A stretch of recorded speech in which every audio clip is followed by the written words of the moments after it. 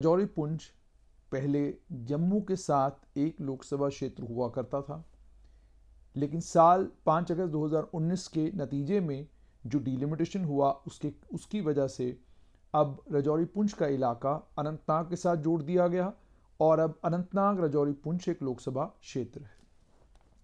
इस लोकसभा क्षेत्र में भारतीय जनता पार्टी की केंद्र की सरकार ने पहाड़ी कबीला के लोगों को शेड्यूल ट्राइब का स्टेटस दिया जब इस स्टेटस को देने की बात हो रही थी, तब बार बार ये बात कही जा रही थी कि ये इसलिए किया जा रहा है ताकि भारतीय जनता पार्टी बाद में इसका राजनीतिक फ़ायदा ले सके। लेकिन न जाने ऐसा क्या सूझा भारतीय जनता पार्टी की लीडरशिप को कि उन्होंने इस रजौरी और पुंछ के इलाके से अपना कैंडिडेट खड़ा ही नहीं किया। और आखिरी मौके तक कहते रहे कि कल कैंडिडेट खड़ा होगा, परसों होगा, फिर जब नहीं हुआ तो उसके बाद इस अपने फैसले को ऐसे बीजेपी डिफेंड कर रही है कि जनाब, हमने जो पहाड़ी कबीला के लोगों को एसटी दिया, वो चूँकि उनकी देरी ना मांग थी, हमने इस मांग को पूरा किया, हम इसका राजनीतिक लाभ बिल्कुल नहीं लेना चाहते और ना ही हमने ये राजनीतिक मंशा के साथ फैसला लिया। ये अब भारतीय जनता पार्टी कर रही है और भारतीय जनता पार्टी का पूरा नेतृत्व इस वक्त इस अपने फैसले को डिफेंड करने में लगा हुआ है। कई लोग तीखे सवाल भी भारतीय जनता पार्टी के प्रदेश अध्यक्ष रविंद्र रैना से पूछ रहे हैं कि आपने तो गुजर बकरवाल कबीला के लिए कहा कि जहाँ से उनकी बकरियाँ गई, वो इलाका उनका। आपने तो गाने भी गाए, आपने तो और भी बहुत कुछ किया, लेकिन उसके बावजूद आपने रजौरी और पुंछ के इलाके से अपना प्रत्याशी खड़ा नहीं किया और रजौरी, पुंछ और अनंतनाग को एक लोकसभा सीट बनाने के बाद अब तीनों प्रत्याशी जो रजौरी और पुंछ और अनंतनाग सीट पर चुनाव लड़ रहे हैं और दावेदार, मज़बूत दावेदार हैं, तीनों रजौरी, पुंछ के रहने वाले नहीं हैं, तीनों कश्मीर संभाग से आते हैं। ये सवाल लोग पूछ रहे हैं। लेकिन आंकड़े क्या कहते हैं? नज़र आंकड़ों पर। आज राजनीतिक बात नहीं, आज आंकड़ों की बात। आंकड़े ये कहते हैं कि अगर हम अनंतनाग लोकसभा क्षेत्र की बात करें, जिस समय अनंतनाग एक लोकसभा सीट हुआ करती थी 5 अगस्त 2019 से पहले।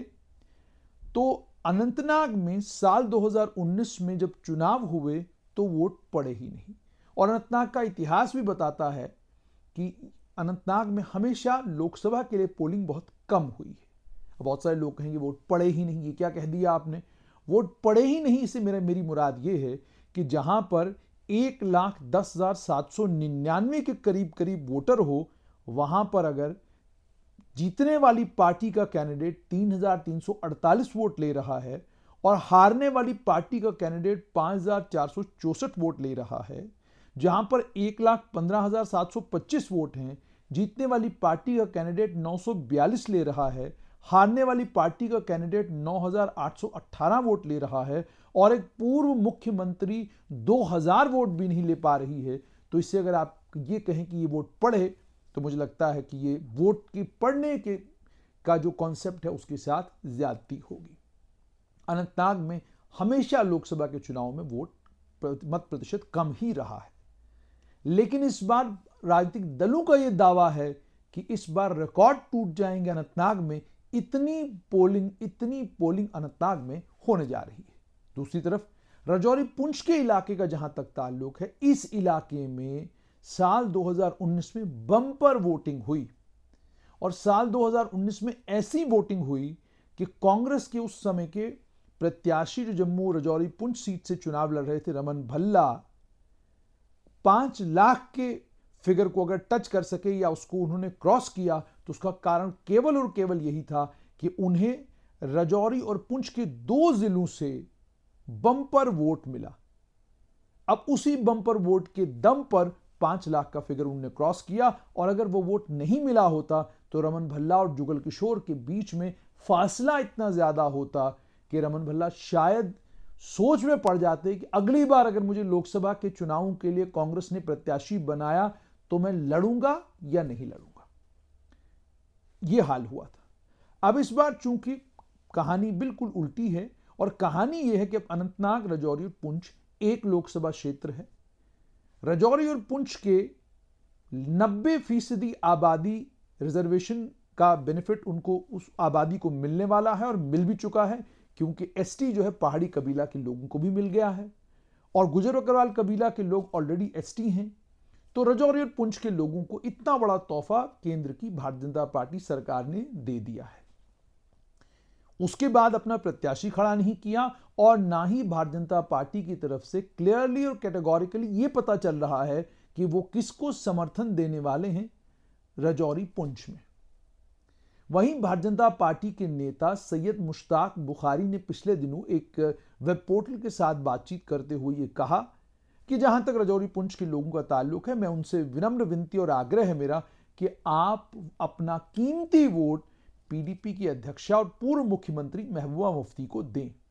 इसी के चलते उमर अब्दुल्ला का बयान आया। उन्होंने कहा कि पीडीपी, बीजेपी की सी टीम है। उमर अब्दुल्ला किसी को बी, किसी को सी। हालाँकि ए टीम कौन सी है बीजेपी की, उसको उमर अब्दुल्ला ने अभी तक साझा नहीं किया। बी और सी की जानकारी उन्होंने दे दी। लेकिन आइए आंकड़ों को देखते हैं कि आंकड़े इस कॉन्स्टिट्युएंसी में क्या कहते हैं। जहाँ तक मियाँ अल्ताफ का ताल्लुक है, वो जम्मू कश्मीर नेशनल कॉन्फ्रेंस के प्रत्याशी ज़रूर हैं, लेकिन ऐसा कहा जाए कि मियाँ अल्ताफ के अलावा वहाँ वोट किसी को पड़ेगा ही नहीं, ऐसा भी रजौरी पुंछ में नहीं है। इतिहास में कई बड़े लीडर जब रजौरी और पुंछ में उन्होंने चुनाव लड़ा तो यूँ लगता था कि ये बड़ा लीडर जो है चुनाव जीत जाएगा, मगर कहानी पलट गई और कहानी कुछ और ही हो गई। आइए आंकड़ों को देखते हैं कि साल 2019 में क्या हुआ था और उसकी बिना पर कुछ आंकलन करने की कोशिश करते हैं। अनंतनाग से चुनाव लड़ रही थी महबूबा मुफ्ती। अनंतनाग से चुनाव लड़ रहे थे जस्टिस रिटायर्ड हसनैन मसूदी। शुपियन में एक लाख छह हज़ार आठ सौ उन्नानवे के करीब करीब आज वोटर है साल 2024 में। और साल 2019 की अगर मैं बात करूँ तो इस क्षेत्र में केवल 1132 वोट नेशनल कॉन्फ्रेंस को मिले थे। कांग्रेस को 432 वोट और पीडीपी को अठारह सौ बयासी वोट। तो शुपियन में, हालाँकि इसे लीड भी नहीं कहा जा सकता 700 वोट तो कोई वोट होते नहीं, लेकिन 700 वोटों से यहाँ पर महबूबा मुफ्ती अपने निकटतम प्रतिद्वंदी जैसे हसनैन मसूदी से आगे थी। कुलगाम में जहाँ एक लाख सोलह हज़ार सात सौ अठारह वोट इस बार हैं वहाँ पर 831 वोट नेशनल कॉन्फ्रेंस को मिले थे 248 वोट कांग्रेस को और 536 वोट पीडीपी को। यानी यहाँ पर एक दूसरे के बिल्कुल करीब करीब थे हसनैन मसूदी और महबूबा मुफ्ती। दवाल हाँ जी, पूरा चूँकि नई कॉन्स्टिट्युएंसी बनी है तो मैं कोई आंकलन इसको लेकर नहीं करना चाहूँगा। यहाँ पर सत्तानवे के करीब करीब वोट हैं। देवसर की बात करूँ तो यहाँ से सरताज मद्दी ने चुनाव लड़ा था और चुनाव जीता भी था।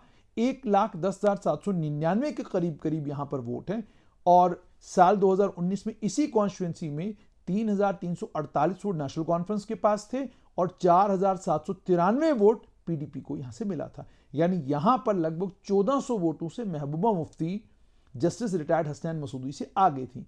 और हैरानगी की बात तो यह है कि इसी कॉन्स्टिट्युएंसी में सबसे ज़्यादा वोट कांग्रेस को पड़े थे पाँच के करीब करीब। उसके बाद बात करें कोकरनाग की, जहाँ से कांग्रेस के पीरजा मोहम्मद सैयद आते हैं, भारी भरकम और बड़े नेता। इक्यानवे वोट कोकरनाग में है। साल 2019 में यहाँ पर भी कांग्रेस को लीड थी। सात हज़ार दो सौ सैंतीस वोट कांग्रेस को पड़ा था। तीन हज़ार आठ सौ बावन पीडीपी को और चार हज़ार सात सौ चौहत्तर नेशनल कॉन्फ्रेंस को।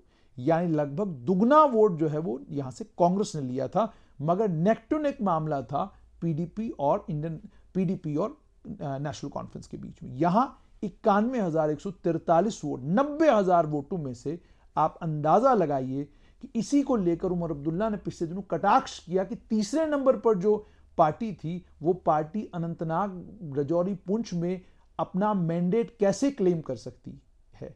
ये बात उमर अब्दुल्ला ने नहीं कही आगे कि कितने वोट लिए थे जस्टिस रिटायर्ड हसनैन मसूदी ने, कहाँ से कितना वोट उनको पढ़ा था। आगे चलते हैं। डूरू की बात की जाए वहाँ पर एक लाख पंद्रह हज़ार सात सौ पच्चीस के करीब करीब वोट।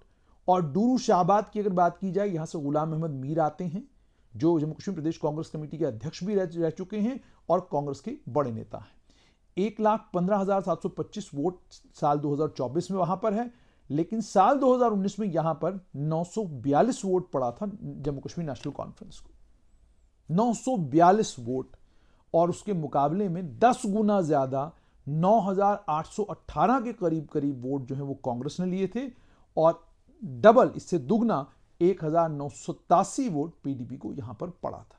अंदाज़ा इससे खुद लगाइए कि कांग्रेस जिसे कश्मीर घाटी में समझा जाता है कि कांग्रेस के पास तो कुछ खास है ही नहीं मगर ये कांग्रेस की स्थिति थी साल 2019 के चुनाव में। अनंतनाग वेस्ट की बात की जाए वहाँ पर एक लाख तेईस हज़ार सात सौ उनासी के करीब करीब वोट हैं। आंकलन इसलिए नहीं, क्योंकि साल 2019 में ये constituency assembly constituency assembly segment था ही नहीं। अनंतनाग में इकसठ हज़ार चौरानवे वोट हैं, और आप अंदाज़ा लगाइए कि अनंतनाग में नेशनल कॉन्फ्रेंस जिन्होंने लोकसभा की सीट जीती थी, उन्हें केवल 419 वोट मिले थे। पीडीपी जो तीसरे नंबर पर रही थी, उन्हें आठ सौ उनतालीस वोट मिले थे, और सबसे ज़्यादा यहाँ पर एक हज़ार चार सौ चौहत्तर वोट कांग्रेस को मिले थे।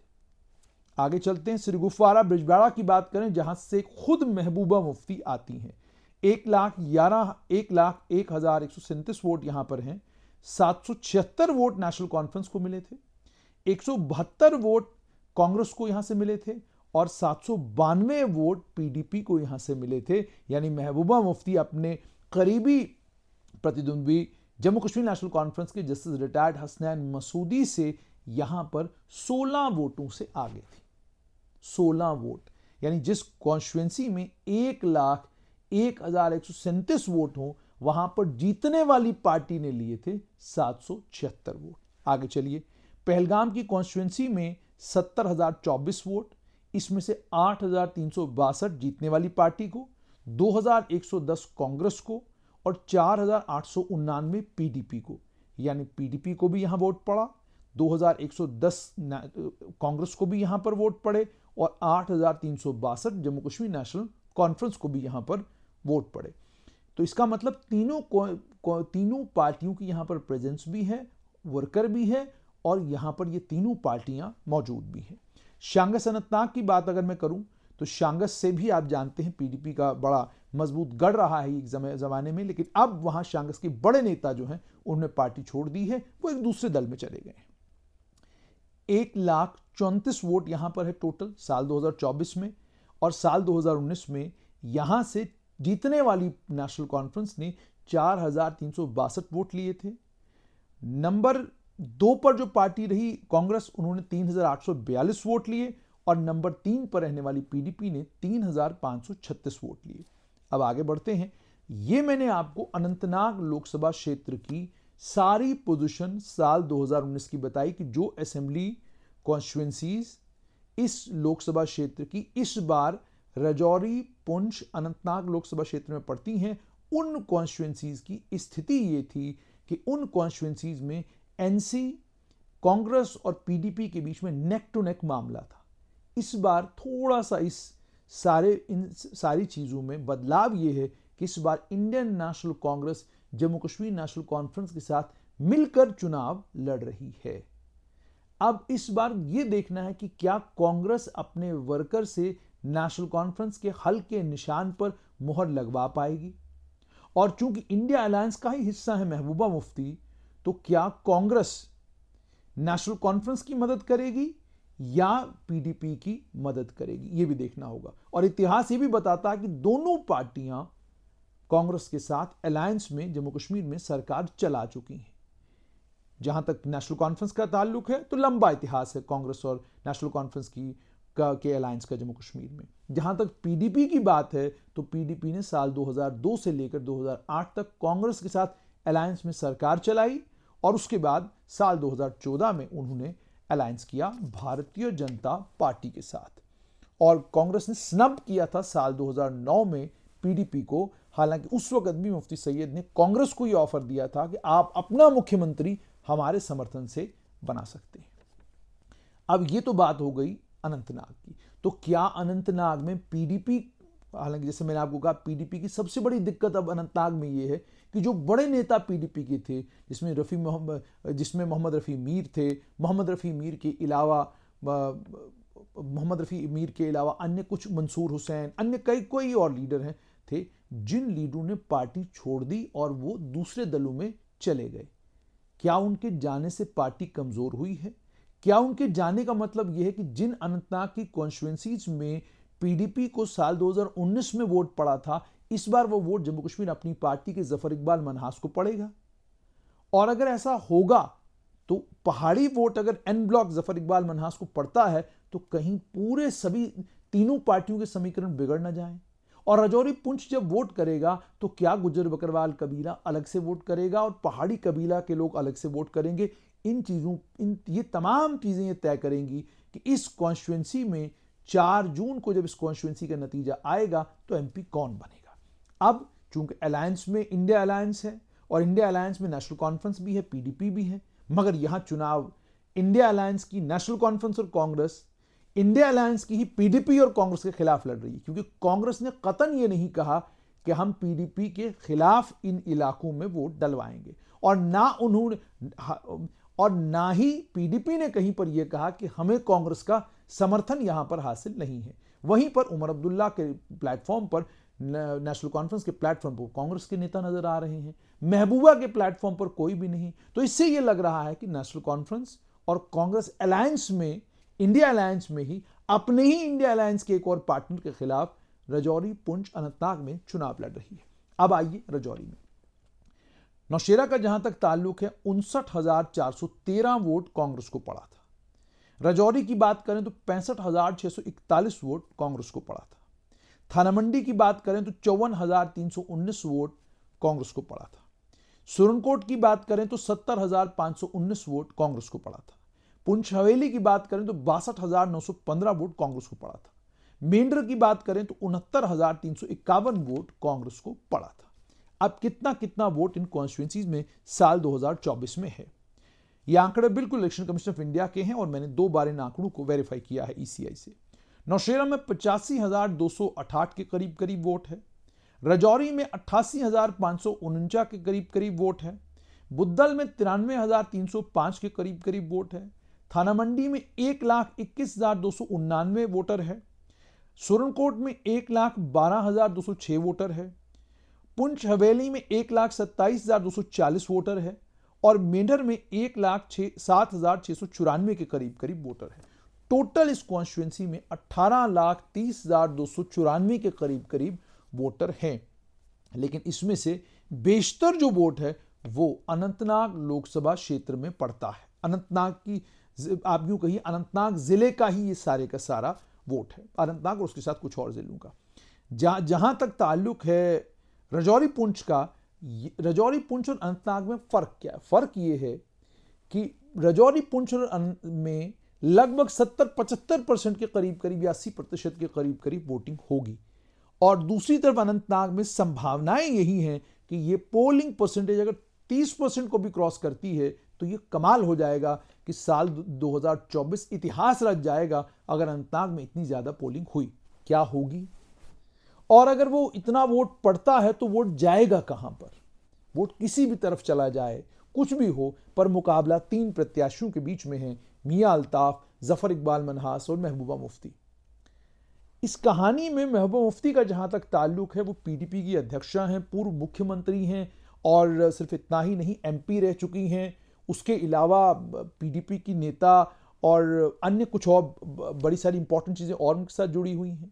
मियाँ अल्ताफ़ एक मियाँ अल्ताफ़ नेशनल कॉन्फ्रेंस के वरिष्ठ नेता हैं। मियाँ अल्ताफ़ मंत्री रहे हैं। मियाँ अल्ताफ़ कंगन से कई बार एमएलए रहे हैं। मियाँ अल्ताफ़ गुजर बकरवाल कबीला के और पहाड़ी कबीला के तमाम कबीलों के एक बड़े धार्मिक धर्मगुरु भी माने जाते हैं। उस तरीके से लोग उनका बड़ा एहतराम भी करते हैं। शरीफ नफ्स इंसान है, ये सारी उनकी क्वालिटीज़ हैं। लेकिन जब आप चुनावी मैदान में उतरते हैं तो इस कहानी में एक नया किरदार, नया पात्र जो आया है, वो है ज़फ़र इकबाल मनहास, जम्मू कश्मीर अपनी पार्टी का।